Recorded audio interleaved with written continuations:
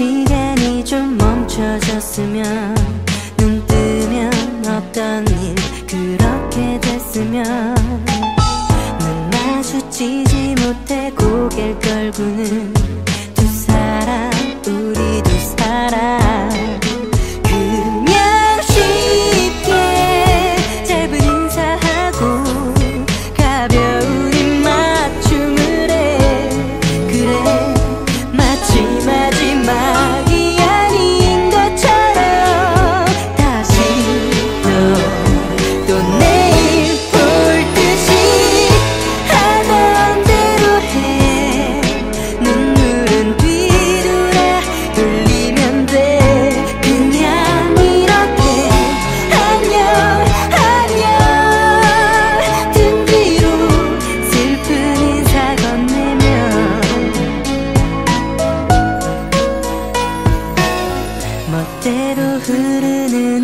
눈물처럼 내일도 모레도 흘러가겠지.